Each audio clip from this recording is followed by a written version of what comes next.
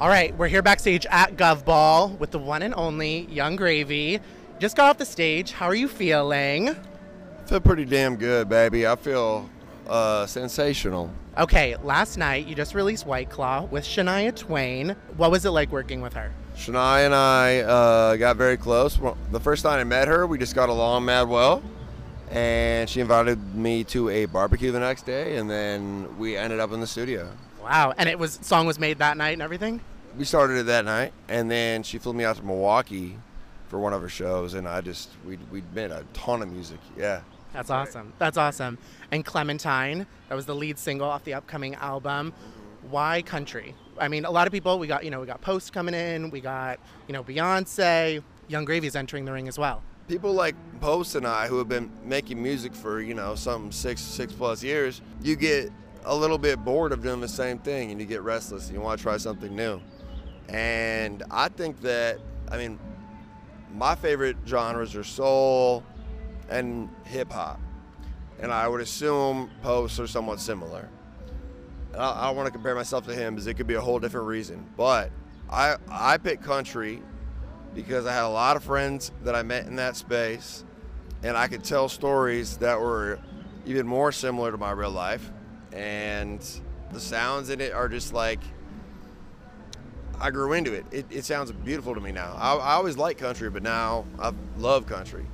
So I basically took my ability to rap and write lyrics and turned it into singing and storytelling. So the upcoming album, would you describe it as a mix of genres between country, country exclusive? album is gravy.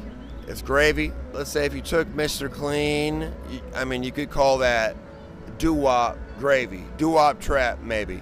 If you took Betty, you could call that, you know, like late 70s funk gravy trap.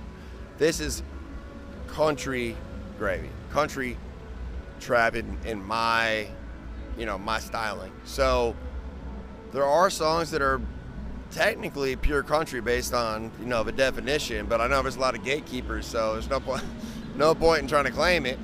But I spent a lot of time in the country with a lot of country artists, and I made the music that I loved, and it's gravy, but it's that's what inspired it. So I'm calling it country gravy, baby. How does one serve country? Well, the, the, there's a number of ways you could serve country, right? Sir, I mean, it, being and, and serving you know, serving country is, is one whole, you know, that's a big window. It's almost like a Venn diagram, right? Yeah. Where you're serving, Yeah. correct? Yeah. Yeah. yeah, yeah. But you can also serve your country, correct? Uh, as you know, a mil- the military. Yeah. Or you can you can serve country gravy to an audience. y- y- You know, to whether it's breakfast or a, or a concert. So basically, it's it's a combination of slaying. well, hold on.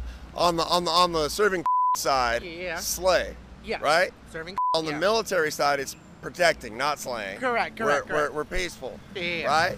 And in the middle, we're providing food for people that need it. I love it.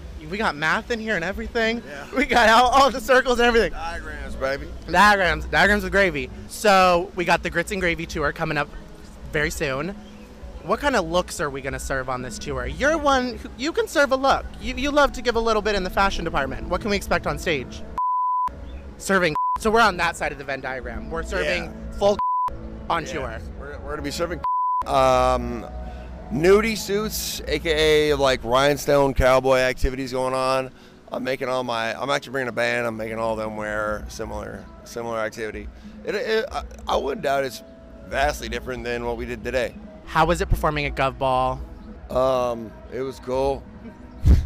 It was good. It was fun. Good. I mean, yeah, it was. It was just another. It was another festival. I would say it was above average. I, I, I would give it a solid like. I mean, I've done a shitload of festivals. I, the, the crowd was great. I give it an 8.5. I'll take that. That's a that's a B. And, and, and that's good because a lot of them are bad.